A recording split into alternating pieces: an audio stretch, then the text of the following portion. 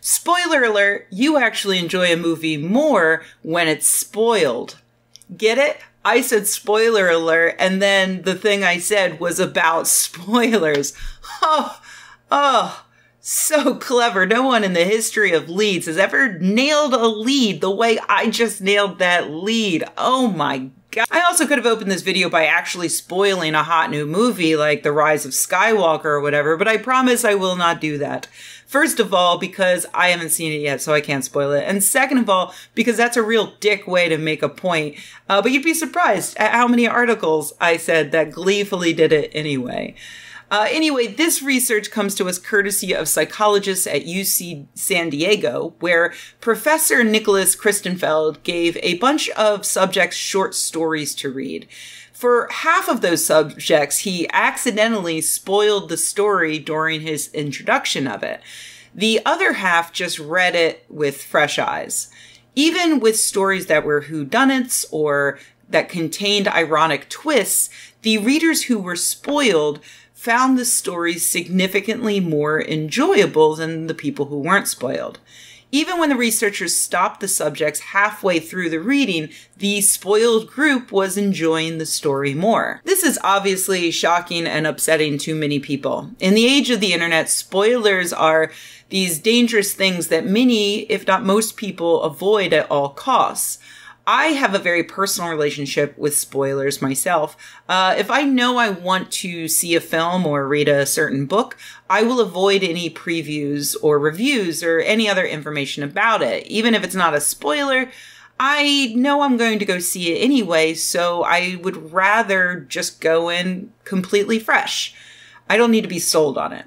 Uh, that said, if I do know the twist or ending to a book or a movie, it generally doesn't stop me from consuming it anyway because I have always steadfastly held onto the belief that if a work of art is only worthwhile due to a plot twist, then it's probably not worth my time. I'm looking for well crafted characters, good dialogue, immersive sound and music, or at the very least, Jason Momoa with his shirt off. I mean, no spoiler can ruin any of those things. But I do appreciate that other people are much more concerned about spoilers and they view spoilers as completely ruining their enjoyment of things, which is why when men send me nasty messages, I will sometimes send them spoilers in response. That my favorite being back when Game of Thrones was good uh, I had read all of the books, so I knew what was going to come in the show. So a man would write to me, like, I hope you get raped by illegal immigrants. And I would respond with, character X is going to kill character Y with a crossbow while he's on the toilet, uh, probably in next week's episode. And then the man would block me and I would be filled with the holy light of justice that is the closest I've ever come to knowing what Joan of Arc must have experienced. I saw this study pop up over on the R Science subreddit, and it was kind of hilarious because almost immediately it got downvoted to the depths of hell. And it's currently at zero right now, which is the lowest score that Reddit will show.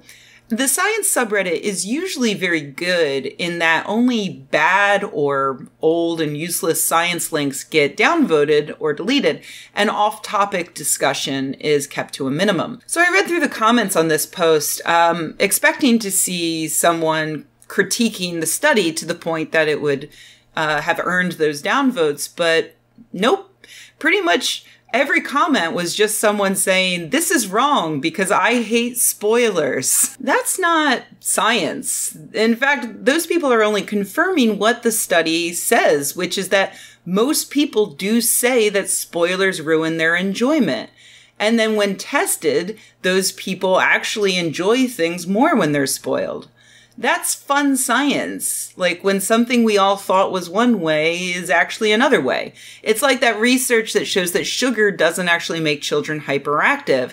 You can downvote that as much as your little downvote finger can handle, because you saw some kids running around after they had some cake at a birthday party, but that doesn't actually mean that you accurately assessed the situation you saw and that the scientists who study sugar's effects on the body for a living are wrong and dumb. So, am I saying that I think that everyone would be better off if everything were just spoiled? No. Uh, I'm just saying that if you're going to argue about a scientific paper, bring some fucking science to the table. Allow me to offer my own critique uh, using reason. So, I don't doubt that the researchers achieved the results that they say they reached. Uh, and I do think that those results are interesting. But I also think that there are some issues that bear keeping in mind. First of all, the minor but obvious issue. These people weren't choosing what book to read or what movie to watch. They had to read a short story for a study, so having it spoiled didn't affect whether or not they would choose to spend their time and energy on it if you are spoiled, you are going to be more choosy about whether or not you're going to actually see something. As a fucking hilarious example, allow me to show you one of my new all time favorite comments on Reddit. This user with 23 upvotes says, I haven't seen Citizen Kane, but I know what Rosebud is. That's why I won't bother watching it now. Like, holy shit, imagine valuing spoilers so much that you refuse to watch what is widely, correctly or not, considered the greatest piece of cinema in human history because you already know that Rosebud is the name of his fucking sled. Please print this comment on my gravestone turn it into a liquid and inject it into my veins. Thank you. So yeah, spoilers might ruin things for people simply because they make a person decide that that's the only thing that was worth watching uh, in that movie, so they'll avoid seeing it. That means something. Second of all, let's say that I offer you a choice between two experiences, experience A and experience B. Also, let's say I'm an omniscient deity for reasons. Uh, I tell you two things about these experiences. Number one, you will like experience B slightly more than experience A.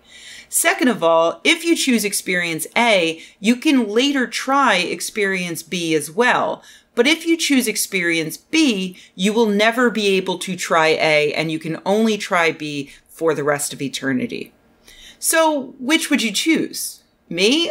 I would choose experience A because I'm a curious person and also I derive additional enjoyment from exposing myself to a diversity of experiences.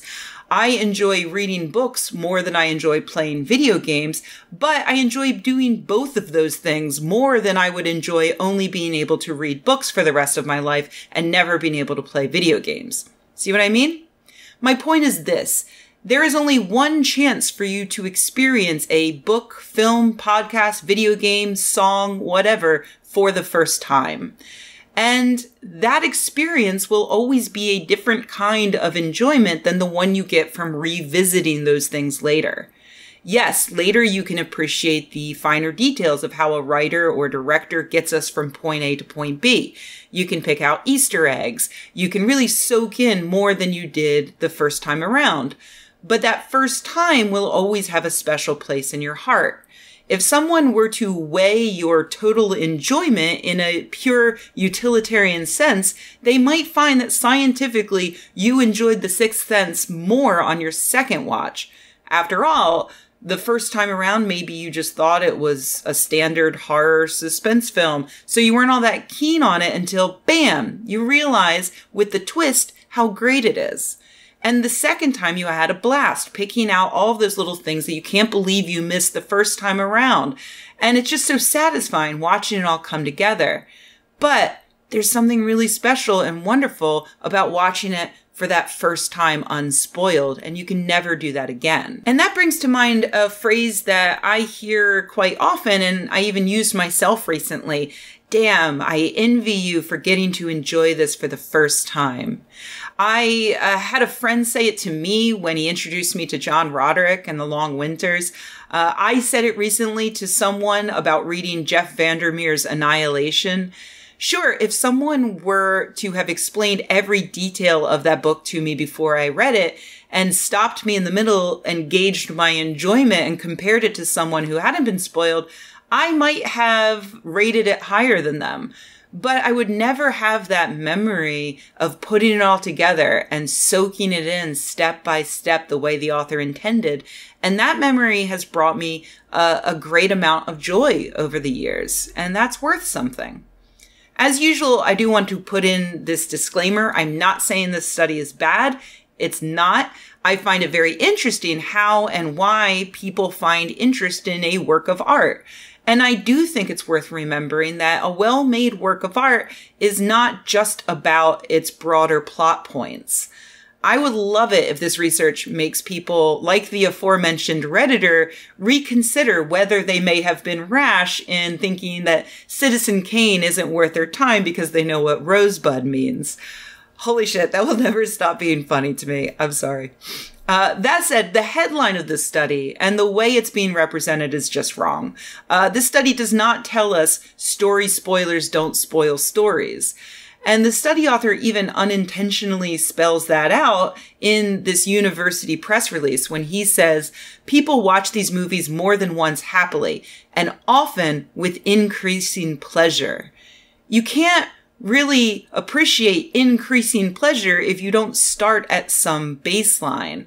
That most enjoyable baseline for a lot of people, myself included, is seeing something for the first time with fresh eyes. So keep avoiding spoilers and keep not spoiling things for other people, if for no other reason than they don't want you to they can always watch it again after they've been spoiled by actually experiencing the film or book or whatever it is they want to experience. Unless they're sending you rape threats, at which point please spoil away because that's hilarious.